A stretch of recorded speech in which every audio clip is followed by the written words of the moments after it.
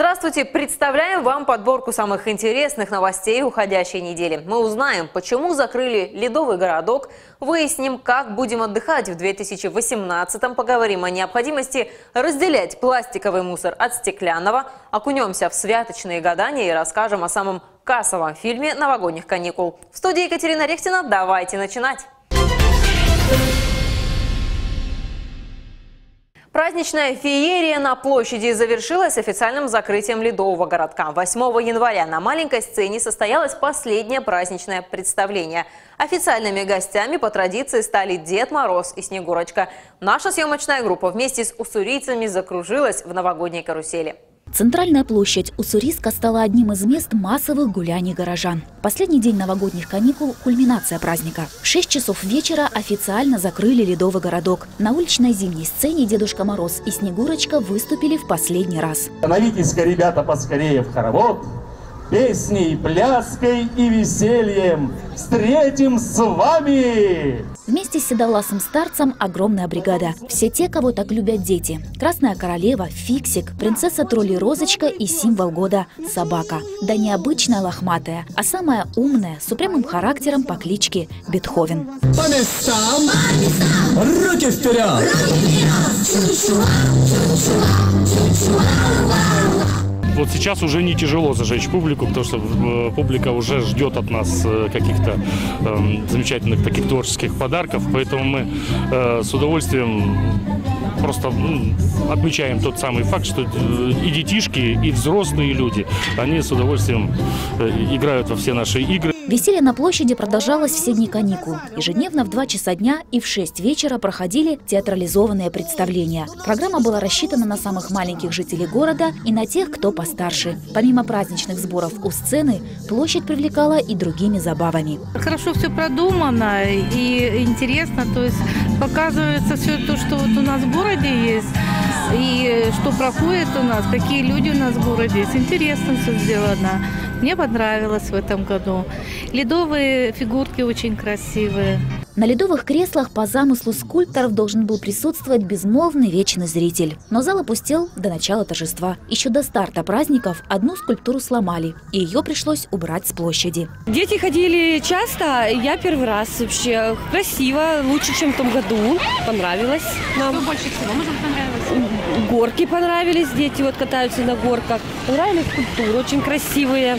Интересным и нестандартным ледовый городок признает большинство уссурийцев и гостей города. В этом году дизайнеры и ледорубы постарались на славу. Причем это не только искусно выполненные ледовые скульптуры, но и инсталляции известных мест и даже лица города. Самая главная интрига для любителей ледового городка – что же означает его официальное закрытие. Ледовый городок будет работать до конца января.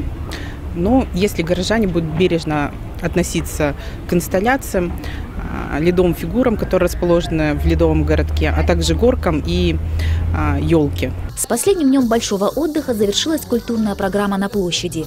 Ледяные скульптуры и четырехполосная горка продолжают украшать центр Уссурийска. Насколько праздничная сказка задержится, зависит от самих горожан.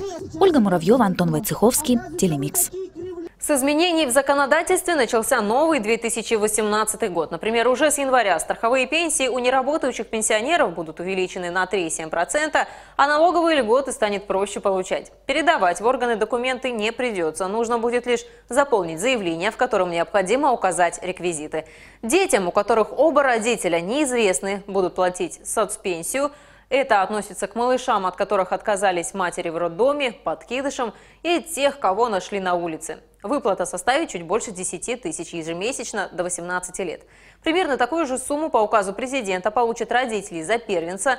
С 1 января в России наложат табу на алкогольные энергетики. Также запрещено продавать э, и производить алкогольную продукцию, в которой этилового спирта менее 15% от общего объема напитка с тонизирующим веществом. Исключение производства данной продукции для экспорта. Появятся изменения и в ПДД на электронные полисы ОСАГО будут наносить специальный двухмерный штрих-код, так называемый QR-код. Он поможет быстрее разобраться в стоимости страховки. Водитель во время вынужденной остановки на неосвещенной трассе вне населенного пункта обязан при выходе из машины надеть светоотражающий жилет. При, осто... э, Постановление вступает в законную силу через 90 дней. Значит, накидку необходимо приобрести к 12 марта. Также на дорогах появится 70 новых знаков, а бензин и дистопливо подорожает на рубль. Прошла первая рабочая неделя 2018 -го. Практически каждый озадачен вопросом, когда ожидаются следующие длительные выходные. Всего в этом году россияне получат 28 дополнительных дней отдыха. Так, 6 и 7 января, которые совпали с субботой и воскресеньем, перенесут на 9 марта и на 2 мая – Предстоит россиянам в 2018-м поработать и в субботу, благодаря чему ожидаются длительные выходные. Рабочими будут субботние дни 28 апреля и 9 июня. Но ближайший продолжительный отдых предстоит в феврале с 23 по 25 число. Далее с 8 по 11 марта также в этом году в календаре событий значится еще одна важная дата – 18 марта. В третье воскресенье этого весеннего месяца предстоят выборы президента России. Майские праздники принесут 4 дня отдыха с 29 апреля по 2 мая. 9 приходится на среду, поэтому будет только один выходной – День России предстоит праздновать три дня с 10 по 12 июня, а День народного единства с 3 по 5 ноября. Приморье, как и по всей стране, идет сбор подписей в поддержку самовыдвижения Владимира Путина на выборах главы государства. Всего для регистрации кандидата необходимо собрать 300 тысяч голосов. В нашем крае работает 200 волонтеров, они собирают подписи по месту жительства избирателей. Кроме того, открылись общественные пункты сбора во Владивостоке, Находке, Артеме и Уссурийске. Где можно оставить свой голос, в нашем городе узнавала Ольга Муравьева. Вместе со всей страной начался сбор подписей в поддержку Владимира Путина и в Уссурийске. Выборы пройдут только 18 марта. Но активная работа ведется уже сейчас. В крупных супермаркетах нашего города третий день работают волонтеры. Их задача – привлечь внимание избирателей к президентской кампании. Здравствуйте, сегодня у нас проходит сбор подписей в поддержку выдвижения президента. Проявите, пожалуйста, свою гражданскую позицию. Для проявления гражданской позиции обязательно наличие паспорта. Прописка должна быть приморской. В бланке впишут всех желающих, достигших совершеннолетия. В основном это люди старшего поколения, предпенсионного возраста.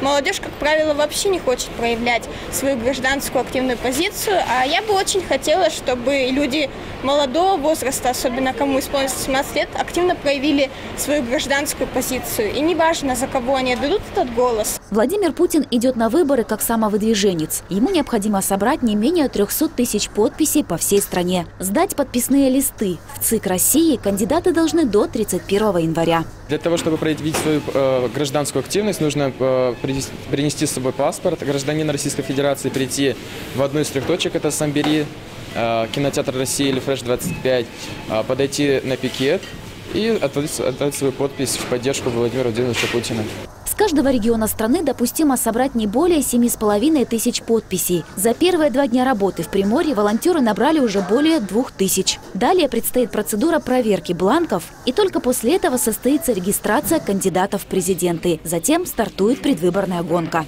Свое мнение такое. Каждый имеет его свое, и каждый должен свое, свое сказать слово. Определить самого достойного кандидата в президенты россияне смогут 18 марта. А пока у каждого есть возможность повлиять на состав участников избирательной гонки. Оставить свою подпись за кандидата в Уссурийске можно в трех местах. В кинотеатре «Россия», в супермаркетах «Фреш-24» на Некрасова и «Самбери» на Краснознаменной. Пункты работают с 12 дня до 7 вечера. Ольга Муравьева, Антон Войцеховский, Телемикс. Региональный материнский капитал за третьего ребенка проиндексированный теперь составляет 169 тысяч рублей. На выплату в бюджете Приморского края на этот год запланировано почти полмиллиарда рублей. Напомним, средства родители могут направить на расширение жилья, ремонтные работы, на медицинские и образовательные услуги. Также разрешено использовать региональную выплату на нужды семей с детьми-инвалидами. В прошлом году такие сертификаты получили более трех тысяч приморских семей. Внесен ряд значимых дополнений и в федеральный мат-капитал. Во-первых, Срок действия программы продлен на 4 года. Во-вторых, родители теперь могут тратить деньги на дошкольное образование, не дожидаясь трехлетия ребенка. И самое важное дополнение – семьи, в которых с 1 января этого года появится второй ребенок, смогут получать ежемесячную выплату из средств мат-капитала, но только при условии суммарного низкого дохода. Для края эта сумма на семью из четырех человек установлена в 79 тысяч рублей. Ежемесячное пособие при этом будет составлять около 20 тысяч. Роуминг отменят в России в 2018-м. Глава Минкомсвязи Николай Никифоров отметил, что изменения планируются в первом полугодии. Данный вопрос хотели решить еще в 2017-м, однако на то, чтобы привести все к единообразной системе и сменить тарифные планы, потребовалось больше времени. Глава Минкомсвязи сообщил, что многие абоненты уже пользуются тарифными планами, в которых значительно снизились цены на внутрисетевой или национальный роуминг. Николай Никифоров отметил, цитата, мы считаем, что не требуется принятие каких-то законов, которые запрещали бы отдельные понятия, как роуминг и другие виды услуг. Конец цитаты. Уже в ближайший месяц операторы связи планируют значительные изменения в тарифных планах. Благодаря этому пользователи смогут ощутить снижение цен в роуминге. В зависимости от дальности поездки абонента стоимость может снизиться в 2-3 раза и более.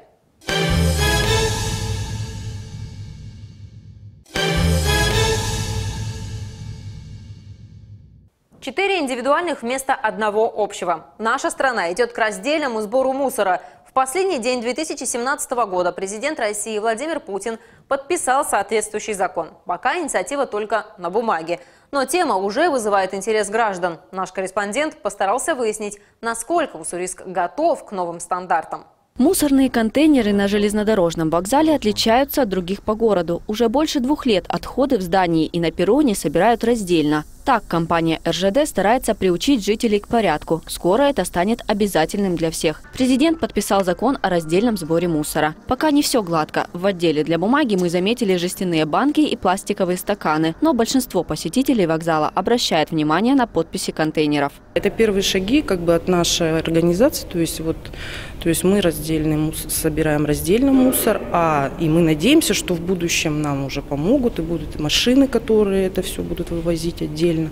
Также большие контейнера будут для каждого мусора. Пока все отходы в итоге попадают в одну машину и затем на свалку. Здесь мусор сортируют, но сталкиваются с проблемой, что с ним делать дальше. В Уссурийске на вторичную переработку принимают только металл и бумагу. Остальное сырье пока не получает новую жизнь и просто оседает в земле. Даже если этот вопрос будет решен с реализацией, будет, э, кто будет финансировать эту программу?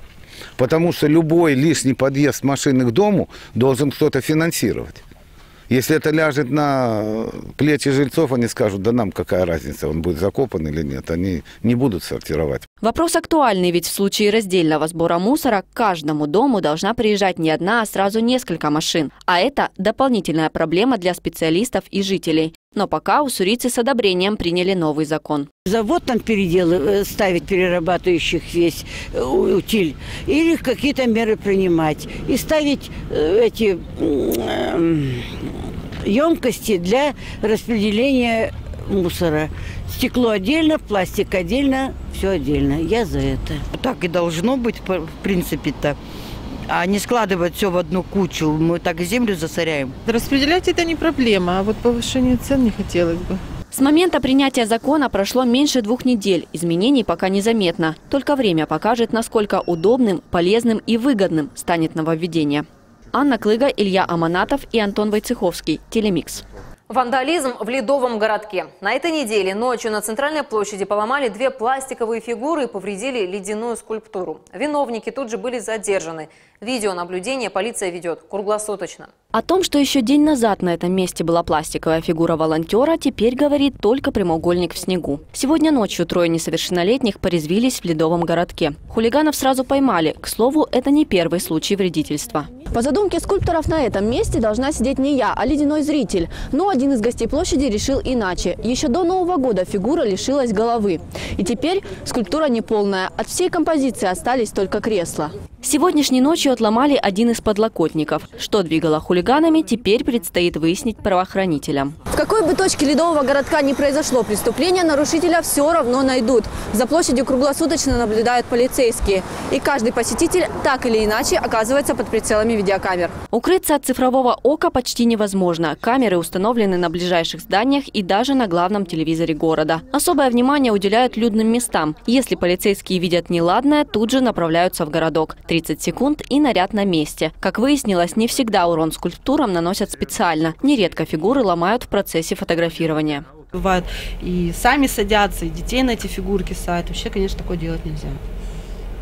Поэтому, если ну, замечены люди, то, конечно, они вот, сразу будут ну, задержаны и все для выяснения там, разбирательства дальше.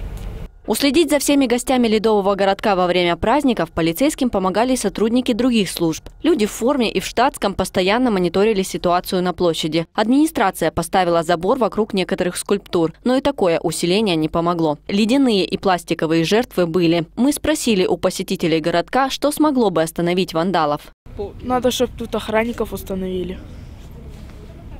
Вот и все, просто следили, чтобы и все. Я думаю, это только воспитание от родителей зависит как родители воспитали, чтобы они бережно относились. Это зависит от родителей. Вот так ограждать, ну, всякими заборчиками.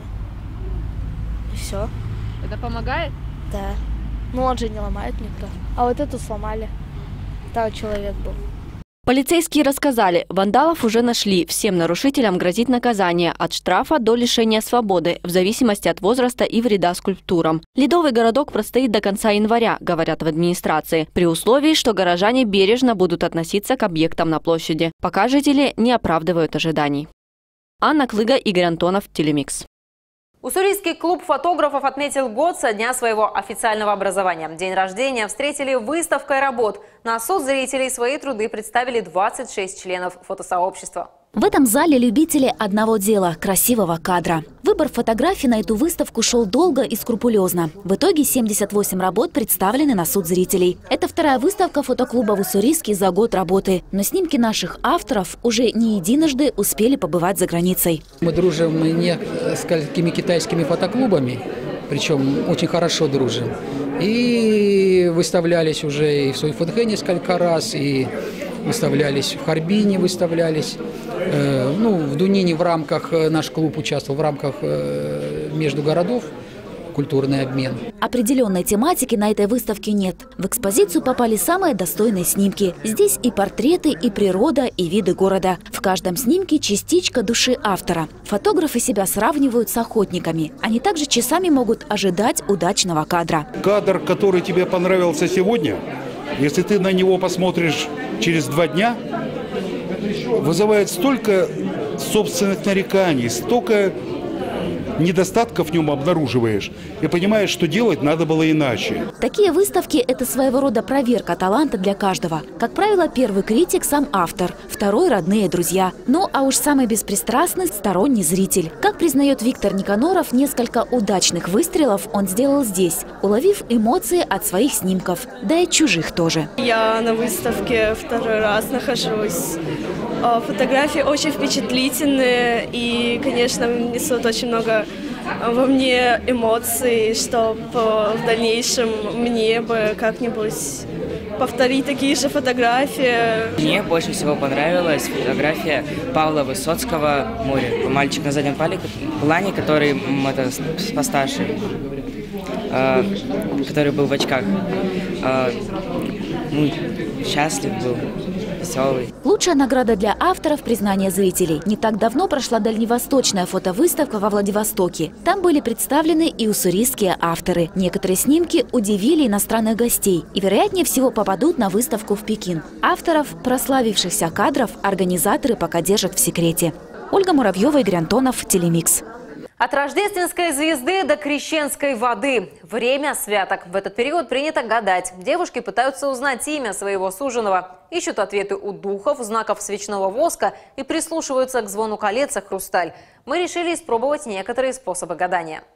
Анастасия готовится переехать в большой город. Перед переменами в жизни девушка решила проверить несколько методов гадания. Проводить такие обряды принято в тишине и без посторонних, но мы, девушки 21 века, решили сесть в укромном уголке кафе. Нашли виды гаданий в интернете, первым испробовали воск. Попросили тарелку с холодной водой и зажгли подготовленную свечу. Перевернули начинает проглядываться фигура. Выясняем, на что похоже и что это значит. На взгляд нашей героини, это белка. Белка означает, что мне всегда нужно иметь стратегический запас домашних заготовок, будь то продукты в холодильнике или заранее припасенные на все случаи фразы.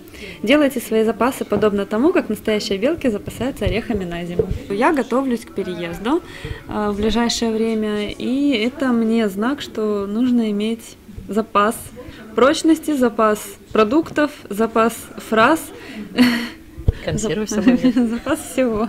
Заказали кофе в турке и погадали на гуще. Настя допила из чашки и перевернула ее на блюдце. Здесь все оказалось сложнее. Изучить нужно самую большую часть кофейной гущи. После долгих просмотров и верчений нашли. Мне кажется, у меня получилась лошадь.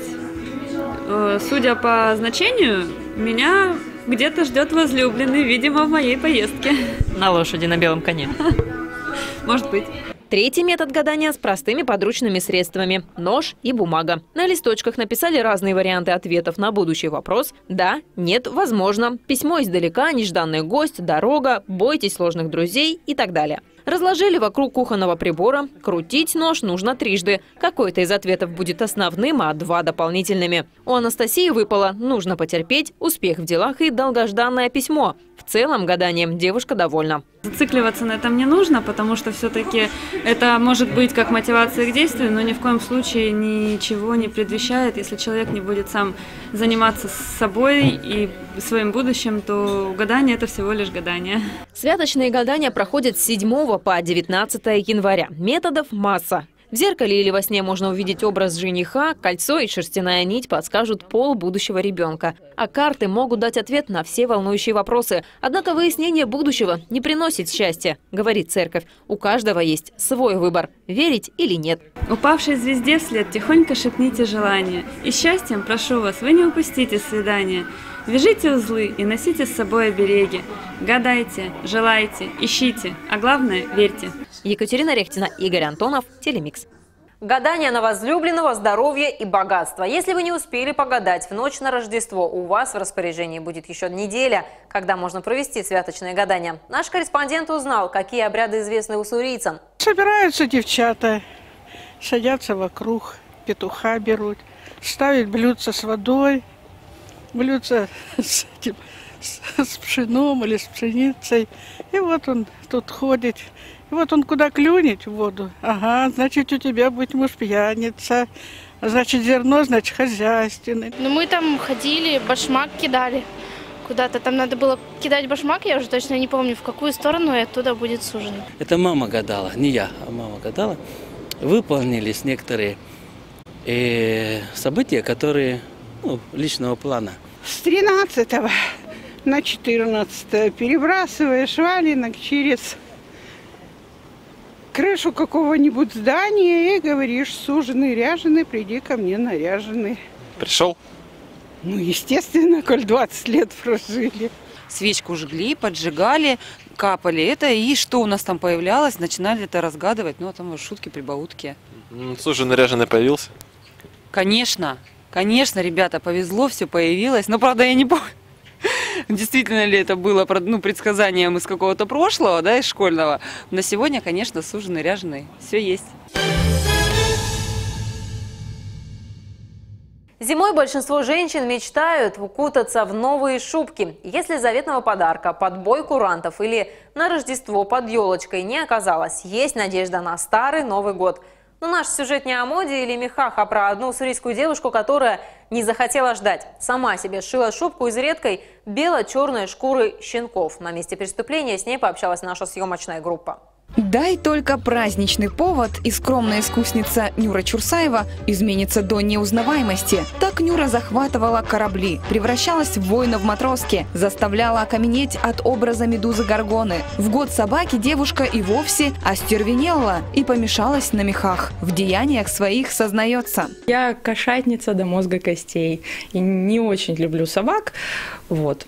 Поэтому мне было сложно подобрать персонажа, который связан с собаками, но при этом сам не собака. И э, как-то само собой пришел, пришел на ум образ Круэллы.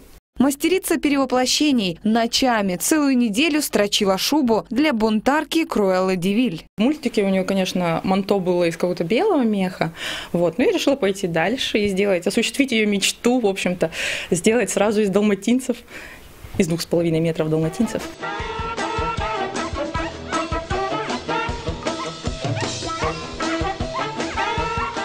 Основная сложность грима в том, что это персонаж, в общем-то, мультяшный, и, соответственно, у него очень такие гипертрофированные черты лица, огромные вот эти зеленые веки, которые приходилось рисовать долго и мучительно. Нюра сшила фирменный парик, где волосы с одной стороны черные, с другой белые. Под ним косплеерша спрятала свой метровый хвост, подчеркнула угловатое лицо, вздернула нос, толстым слоем тонального крема закрасила свои брови.